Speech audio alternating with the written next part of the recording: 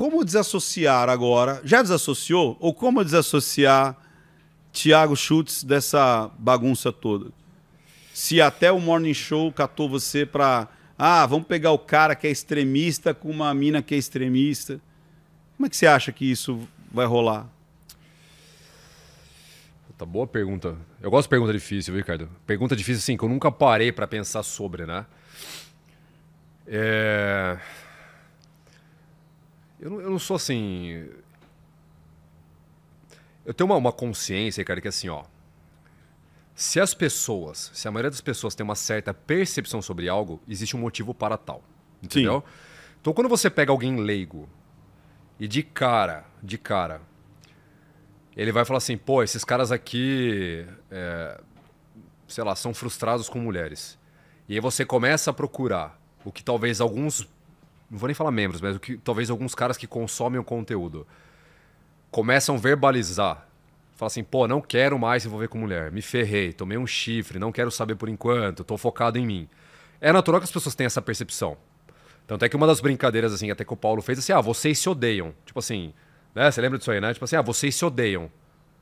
Cara, peraí, eu não odeio nenhuma mulher, não odeio ninguém. Não é que eu odeio feminista, não é que eu odeio mulher. Tipo assim, de onde imputou essa, essa parada, entendeu? Eu não vejo outra forma, tá, Ricardo, assim, ó, de você desassociar isso se não for através de uma, de uma, eu diria assim, de uma conversa inteligente e gosta de estar aqui agora. E de verdade, tá? Assim, não é para encher a bola e tal, mas assim, porque eu, eu vejo que se você parar para pensar e falar assim, porra, peraí, todo mundo fala que o Thiago, sei lá, odeia mulher, traumatizado com mulher. Pô, mas a namorada dele acabou de sentar aqui. Ela falou, tipo, com uma pessoa normal. Ela não é, tipo, bizarra, né? Não, é, não tem nada de estranho. O pessoal tá vendo aqui a gente se divertindo, dando risada e falando sobre tudo. Até tomando talvez um possível cancelamento, não sei, né? Mas assim, existe um lado aberto para discutir ideias, de ouvir o outro lado até que você não concorde. Eu jamais, já cansei de falar isso aí, Ricardo. Eu posso discordar de você até morte. Eu nunca vou falar assim, corta o Ricardo porque eu discordo dele. E foi o que eu mais ouvi. No auge do meu cancelamento, o que, que eu ouvi de algumas mulheres? Como assim esse cara tem advogado? Você tem um. Você como, tem... Tipo assim, como assim alguém defende ele? Né? Exato. Né? Pra, você, assim, pra você ter uma ideia de como tá a cabeça do. do, do muito. Do, entendeu? Mas foi plantado aos poucos. Exato. Que o outro exato. lado não pode falar, não pode se expressar. Perfeito, perfeito. É só um movimento é que tem direito. E entendeu? aí eu vou até um pouco mais além, tá? É, João tá de prova, ele, ele abre os inbox da minha página. O, o, o, tipo de depoimento que eu mais recebi, Ricardo, foi o seguinte: Tiago, você fala o que todo homem tem vontade de falar e não tem coragem. Olha que bizarro. É você receber ao longo de dois anos mais de dois mil depoimentos, o cara fala assim: você fala o que todo homem tem vontade de falar e não tem coragem. Peraí, não tem coragem por quê? Em que momento começaram a cortar de forma metafórica a voz dos caras? E por que não é importante ouvir os caras? A partir do momento que os caras fazem a base para a proteção da sociedade, para a evolução da sociedade, por que, que vocês não querem ouvir os caras? Por qual motivo não é interessante ouvir os homens, entendeu? E eu te dou a pergunta e te, te dou a resposta, Ricardo. Porque assim, ó. Se hoje a gente precisasse de uma revolução. Até meio perigoso eu falar que eu vou falar, mas assim, ó, se eu precisasse hoje de uma revolução em que, sei lá, a vida de muita gente tivesse em jogo, o primeiro a pegar no fuzil vai ser homem, não vai ser mulher. Com certeza. De verdade. Não, isso com certeza. Não vai ser, com Mas, todo respeito. Falou, toda a história da humanidade. Exato. Sempre foi assim, sempre vai ser, porque é o papel natural e biológico da coisa, tá? Até para ele e... olhar dentro de casa e falar assim: eu preciso sair daqui para proteger o que eu tenho Exato. aqui. Perfeito. É, é, Perfeito. E, e é natural. Perfeito. E não é uma questão lógica até. É uma questão, sabe do quê? De gene. Perfeito. Perfeito. Exatamente. É uma questão de gene. O cara Exatamente. vai olhar e vai falar assim: eu tenho que ir. E ele vai. Ele vai, exato, exato. Agora, qual que é o, o que, que seria, qual que seria o motivador do cara não ir? Por exemplo, tá, Ricardo? Então, assim, ó, o que, que faria o cara olhar e falar assim, ah, deixa pra lá. Eu te falo, algum, na minha visão, assim, alguns motivos, tá? Uma delas é um certo medo que você vai colocando na cabeça do cara de que, olha, não, não compensa lutar por isso, entendeu? Não compensa lutar por isso. Deixa quieto que a, a batalha já é perdida, tá? Não compensa você dar a cara a tapa e tomar pau, porque a luta já é perdida. Começa por aí. Um outro ponto que pega também é que isso é muito sutil, o pessoal tem que estar muito atento às narrativas. Cara, faz acho que 10 eu tenho, tô com 35 anos, faz acho que uns 20 anos. Desde quando acho que eu vi, eu, sabe quando a gente consumia filme em fita cassete, Sim. cara? Eu lembro assim, tipo, de ver filme de VHS, né? VHS, isso, exato. VHS. Que, cara, um filme ou outro, a mulher era muito foda e o cara era um panaca. Então, assim, isso, queira ou não, vai criando uma programação mental na cabeça da mulher de que ela é muito foda e o cara é um bosta. Então, assim, chega na hora que fala assim, cara, por exemplo, eu vou pra guerra para proteger minha família. A mulher fala assim, pra quê? Para de ser trouxa. Ah, não, verdade, sou bobo. Entendeu? É bizarro o negócio. Então, assim, quando você chega num ponto que o cara, assim, cara, você representa a gente, pelo menos de forma vocal, você fala o que todo homem queria falar, é porque eu presumo que tem muita coisa entalada na garganta desses caras. A ponto de simplesmente falar assim, cara, não quero. Não quero mais relacionamento, não quero mais esse trabalho, não aguento mais, entendeu? Cara, é, é, é então, você trouxe para um ponto que eu não tinha, eu não tinha pensado.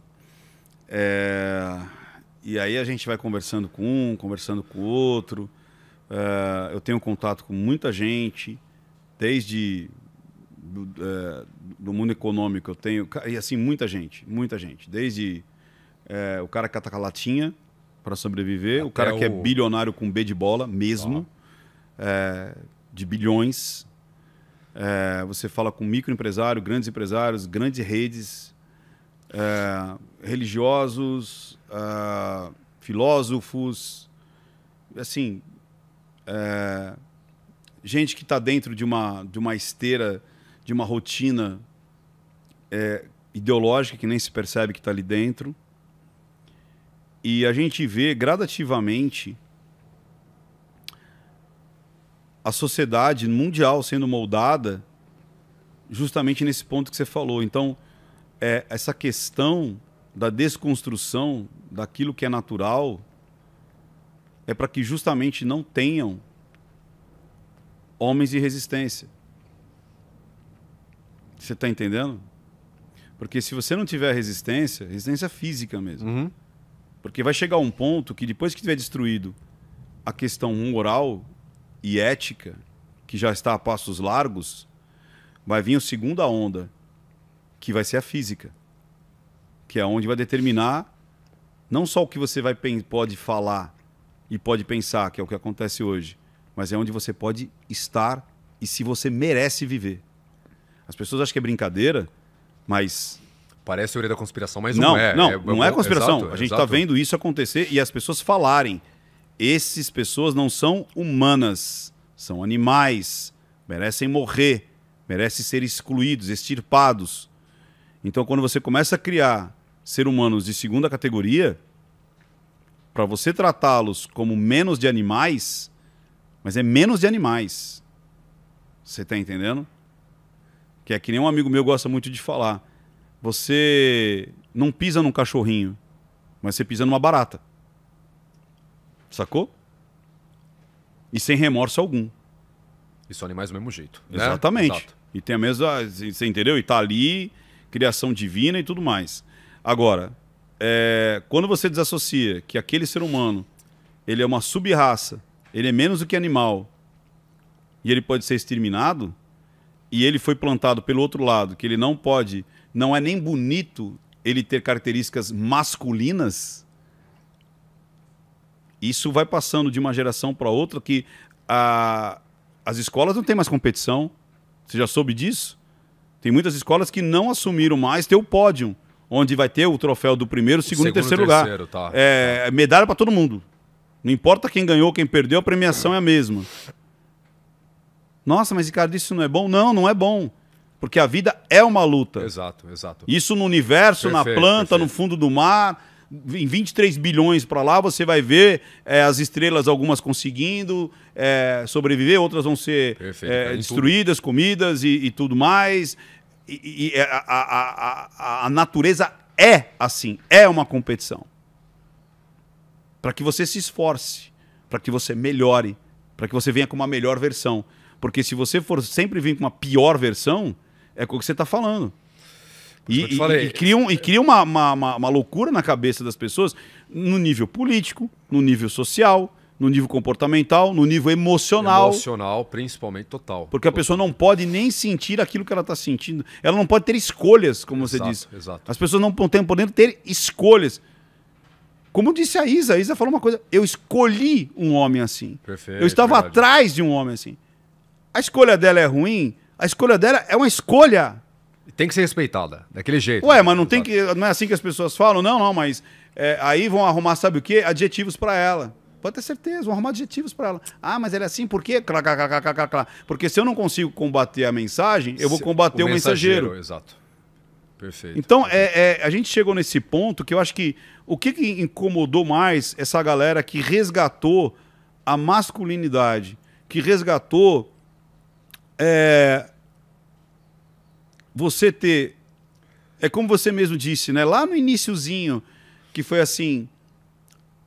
Muitas vezes, e o Du até também falou um pouco disso, né? Ele falou: até eu senti isso e passei por isso. Que por mais que eu desse, eu sempre estava em débito. Por mais que eu fornecesse na relação, eu estava em débito. Isso é patológico, cara. Isso é patológico. E aí parece que é, é, é, essa galera tá trazendo o quê? Cara, você tem que ser justo. Você tem que ter a temperança, você tem que entender o que, que você quer, ir atrás do que você quer, ir atrás desse, desses valores. Isso, pelo que eu entendi até agora nessa conversa que eu tive com você, é isso não é ser não é buscar o machismo, não é buscar a agressão, não é buscar a dor, o sofrimento, a submissão ou, ou submeter, mas é sim é, saber o que você quer no relacionamento e lutar por isso que você quer. E, cara, isso serve tanto para homens quanto mulheres. Ou seja, você saber do seu valor, você não aceitar qualquer coisa. Boa, legal. Ou seja, porque se você. É mesmo, vamos lá. Se, imagina que eu estou falando isso de uma mulher. Primeiro, mulher, você tem que saber o seu valor. Você não pode aceitar qualquer coisa. Você tem que realmente estudar e ter um contrato social sobre aquilo que você vai entrar. O que, que você quer aceitar e o que você não abre mão. O que, que você vai doar e o que você vai exigir. Agora, é engraçado se a gente falar isso para uma mulher, porra, que legal. Se você falar isso de um homem, pô, mas esse cara é um filho da puta. Exato, exato. Machista, não sei o quê, exato, totalmente. Então, é, eu acho que está faltando um pouquinho é, de parcimônia das pessoas. Acho que as pessoas estão precisando um pouquinho ouvir antes de julgar e entender o que, que é bom para elas, né? E aquilo que a gente falou também, né, cara? Então, assim, ó, eu não, eu não condeno nenhum tipo de, meu, de dinâmica de relacionamento ou dinâmica de, de vida do cara, entendeu? Então, assim, da mesma forma que eu tenho a minha verdade, e essa verdade minha não é absoluta, e eu não tô tentando descer a minha verdade igual abaixo para ninguém. É Sim. como o Thiago vive a vida dele, como que é a verdade pro Thiago, né?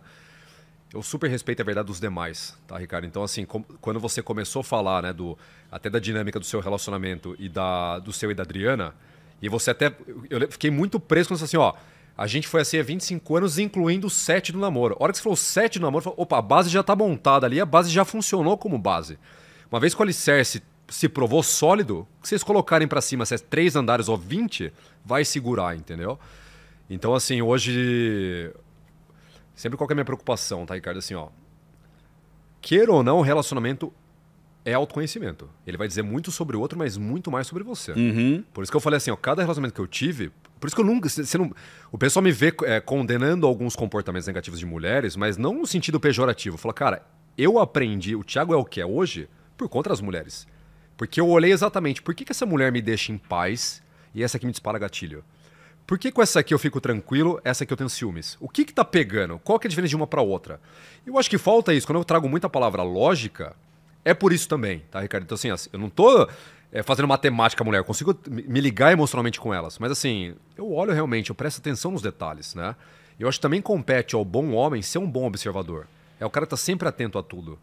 É, eu vejo hoje assim, homem andando. É, pra... é observar a linguagem silenciosa. Exato, perfeito. É, já faz um jabá também, mas é real, né? Então, assim, é, pô, a gente como homem, você vê um cara com um olhar malicioso pra tua mulher, tipo, ah, sei lá, três metros de distância, se uhum. o cara estiver uhum. ligeiro. Os homens de hoje estão olhando com o celular e conversando no Instagram de fone de ouvido e a mulher tá aqui quase sendo assaltada, entendeu? Então, assim, que mundo. Ou tá, molestada tá, até. Né? Exato, sabe? Então, assim, que mundo que a gente tá aqui, que os caras são tão away assim da realidade, né? Aí eu deixo um questionamento, tá, Ricardo? Assim, sempre, sempre gosto de deixar, né? É... No fundo, assim, tem uma coisa que talvez eu não sei se dá para colocar a mão no fogo, talvez de certa forma assim, que é o seguinte. No fundo, no fundo, eu acredito que quando assim a, a corda aperta, o negócio aperta mesmo, eu acho que toda mulher vai preferir um cara que é masculino e centrado na sua função biológica, sempre. E isso, quando a gente fala, estamos falando assim, situação de perigo, situação de risco. Se a gente pô, tem um avião, cai um avião com 10 mulheres e 10 homens numa ilha. menos de um dia tá cada um fazendo sua função natural. Não vai estar tá indo mulher caçar e pegar a madeira e não vai estar tá homem cozinhando, sei lá, pegando maçã na árvore, entendeu? Você acaba de assistir a um corte. Para você acessar o conteúdo na íntegra, o link está nas descrições. E para você não perder nenhum bate-papo, inscreva-se agora no canal.